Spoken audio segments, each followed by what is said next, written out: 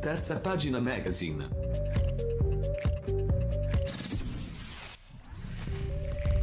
Ed eccoci qua rientrati in studio, sempre qui dallo studio 1 Rossi Park in Roma, Web Live, eh, Social Club, TV e non solo, quindi terza pagina magazine, eh, dal teatro passiamo a un'altra situazione di teatro e lo facciamo col direttore artistico del teatro Trastevere, Marco Zorda. Buonasera a te Marco.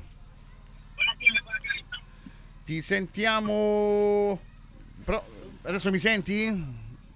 Io sì, mi voi mi? Perfetto, perfetto, perfetto. Adesso sì, il collegamento va benissimo. Allora, è Ok. Teatro Trastevere. Prego Nicolò con Marco Zord e il regista Michele Vidiello. Prego. Beh, eh, Marco, eh, ben trovato. Eh, ci interessa sapere soprattutto mh, che aria si respira in questo momento così delicato, perché eh, eh, qualcosa si sta muovendo, ma non sappiamo ancora che direzione prendere. Quindi, eh, probabilmente tu uh, in qualche modo ci puoi dare qualche informazione in più, almeno così per quanto riguarda il teatro. Sì, allora, innanzitutto, mh, diciamo, mi, mi avvantaggio di una situazione in questo momento di, eh, di favore, perché comunque io eh, collaboro anche con eh, l'edizione romana del, Roma del, del Fringe Festival, quindi Roma Fringe Festival, e il 26 di aprile ci dovrebbe essere proprio la finale, anzi ci sarà la finale.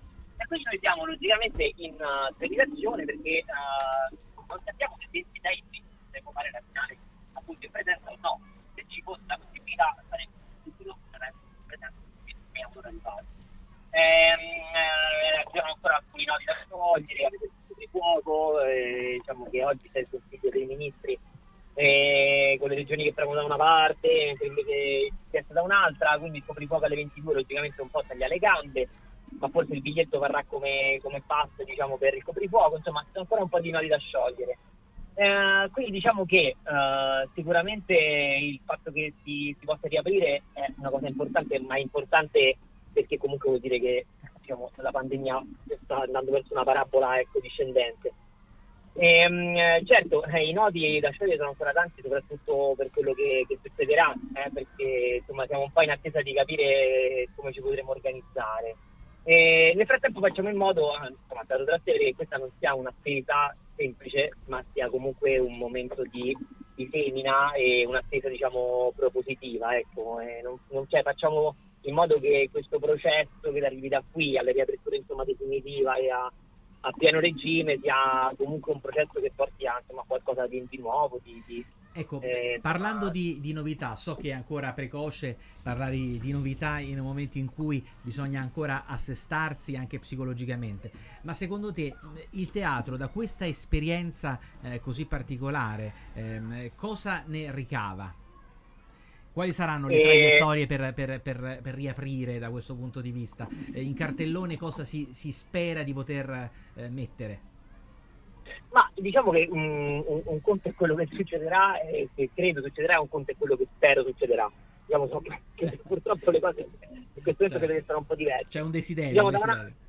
Sì, sì, da, da parte mia, logicamente, visto che ci siamo resi conto, no? Tutti quanti, che più noi siamo vicini, che il teatro ha una funzione soprattutto per, per- per le persone che vengono a vedersi, che va fatto insomma eh, per, per, per gli spettatori, va fatto per, ah, per la cittadinanza, per la socialità.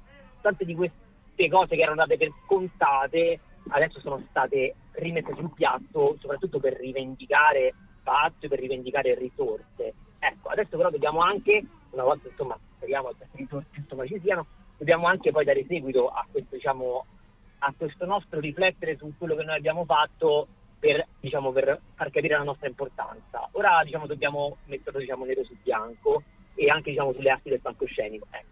Quindi insomma mi aspetto che ci sia eh, non, non- non tanto insomma, nel repertorio, ma quanto nei modi di fare teatro e di posti, sempre più vicino a, Certo. a- a chi vuole venire, agli spettatori, eh, ricordandoci che quest'atto di stare tutti insieme in una stanza non è poi così scontato come noi lo, lo- lo pensavamo. Ecco. Ecco, E se- quindi eh, Secondo te il- gli spettatori eh, cominciano ad avere fame di teatro, eh, di, di eventi, delle poltroncine rosse? eh, diciamo che sicuramente c'è molta fame di, di- c'è molta fame di qualcos'altro che non sia stare a casa. Credo che diciamo, ecco, andiamo verso una stagione, una stagione calda e quindi credo che da qui a, diciamo, nei prossimi mesi ci sarà comunque tanta voglia di stare fuori e forse diciamo dovremmo un po' cercare di, uh, di, stare all'aperto anche noi, insomma, anche noi, anche noi diciamo, che facciamo teatro con lo spettacolo dal vivo all'aperto. E spero che in questo le, uh, le istituzioni siano, uh, diciamo, abbiano orecchie per sentire il fatto di sburocratizzare, perché altrimenti è difficile fare teatro all'aperto perché c'è molta burocrazia dietro. Eh, quindi io credo che per i primi mesi noi dovremmo cercare di trovare tutte le occasioni per diciamo, abbellire ed uh, diciamo, infiocchettare quello che possono essere le esperienze che ognuno vorrà fare insomma, fuori di casa e all'aperto.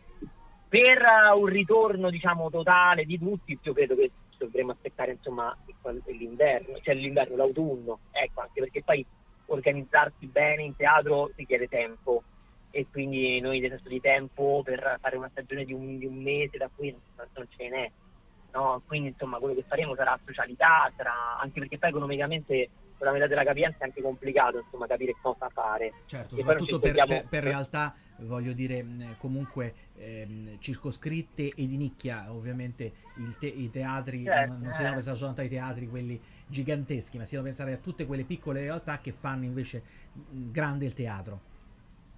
Eh, noi abbiamo, avremo 40 posti, quindi insomma voi capite bene che 40 posti rispetto a 100 va rivista proprio l'idea di quello che noi facciamo, il, il cabotaggio degli spettacoli che facciamo. E per fare questo lavoro non basta un mese, anche perché poi arriverebbe giugno, e giugno di solito eh, si chiude. Quindi eh, ora diciamo, ci concentreremo sulla, diciamo, su inventarci qualche cosa che possa animare uh, animare il nostro rione, Rione Trastevere, animare insomma, altri punti della città che ci verranno in mente, e che magari saranno disponibili ad essere animati, perché poi dipende anche da quello. Marco... E, e, poi nel frattempo sì. Eccoci, sì, proprio parlando di rioni e di città, cioè il teatro Trastevere è praticamente un teatro che si trova nel cuore di Trastevere, quindi con tutta la sua storia, la, eh, la, il folklore, la, diciamo, la cultura di una città. Quindi quanto troviamo nella, nell'organizzazione, nel, negli spettacoli, nelle prossime produzioni di, di, tutto ciò che è il bagaglio culturale, storico eh, e attrattivo di, di, di, questa Roma nostra, come dico io? Visto che oggi è anche il ah. 21 aprile. Sì, sì, sì. Allora, a livello, diciamo, a livello proprio diciamo, di, di, programmazione uh, troviamo sicuramente quello che è il nuovo racconto di Roma. Sicuramente in questo momento Roma va raccontata in tanti modi, in tanti modi diversi da quello che può essere un racconto diciamo, un po' oleografico. Eh, senza nulla togliere logicamente ai, ai cardini no? della comunità romana, della certo, storia certo. romana e tutto quanto il resto. In questo momento noi facendo diciamo, un teatro abbastanza contemporaneo, di nuova drammaturgia, raccontiamo un po' la Roma di adesso. E soprattutto lo facciamo anche con attività parallele nel senso noi siamo molto legati logicamente alle realtà del quartiere a, a, a, a tanta solidarietà che sta nel quartiere. Abbiamo fatto una rassegna di streaming diciamo, e tutte le donazioni sono andate a tante realtà di solidarietà del quartiere che durante questa pandemia sono fortunatamente fiorite anche. Eh, inoltre logicamente noi abbiamo un rione che sembra rose e fiori ma non è così noi veniamo da un anno di Trastevere violenza, veniamo da, da un anno eh, che Trastevere era sempre, su, diciamo, sempre insomma, sulle pagine della cronaca, veniamo da una Trastevere che piano piano viene depredata eh, da, da logicamente a economie per fare diciamo, ristorazione, per fare diciamo, tutto il resto a Trastevere e diciamo di, di, di Trastevere vero rimane sempre di meno, no? Certo.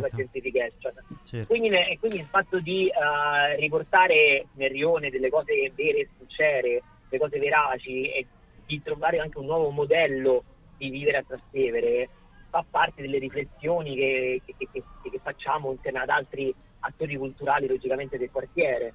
E quindi diciamo al di là insomma di, di quello che è un, un, ridere su Roma, un raccontare Roma, c'è anche un'attività diciamo sociale, perché poi insomma ecco, io racconto sempre questo, Trastevere a 12.000 case, ma abitate da, eh, da persone solo 5.000. Il resto sono tutti bed and breakfast, sono tutte quante, diciamo, quindi svegliare la cittadinanza con Trasteverina è, è, è, una bella impresa, eh, perché insomma, uno pensa sta al primo municipio, ma in realtà ci sono insomma, dei problemi che non, magari sono diversi da quelle periferie, ma ci sono comunque. Certo.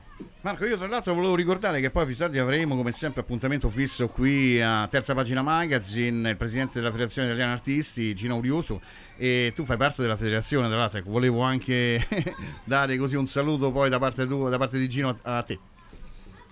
Sì, beh, la, la, la Feditarte questa, durante questa, questa pandemia è cresciuta notevolmente grazie alla, grazie alla reputazione che si è, si è saputa creare per la serietà con cui affronta i temi del nostro settore.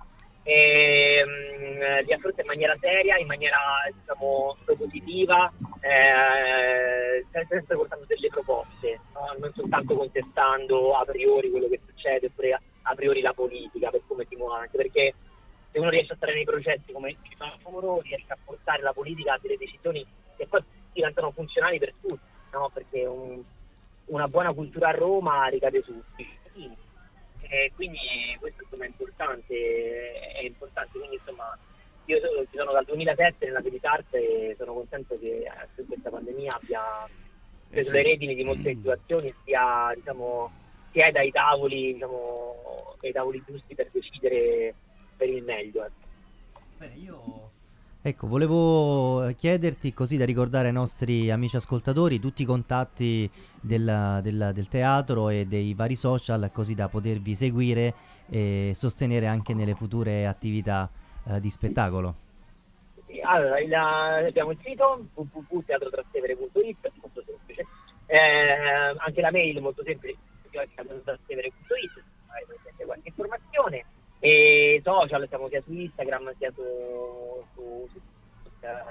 Teatro Trastevere, e niente, noi adesso aspettiamo un po' di ufficialità ehm, e poi insomma abbiamo un po' di idee in, in cantiere. E allora sicuramente noi ci risentiremo Abbiamo una domanda da un'ascoltatrice Ah, che ecco, chiede eh, se volessimo presentare delle nostre opere, come possiamo fare con il Teatro Trastevere? Allora, eh, eh, info, eh, mandate una mail a info.teatrotrastevere.it Perfetto, E allora diciamo, seguiamo tutti, tutti i vari riferimenti appena forniti, poi eh, speriamo di avere notizie da questa ascoltatrice di uno spettacolo magari in essere.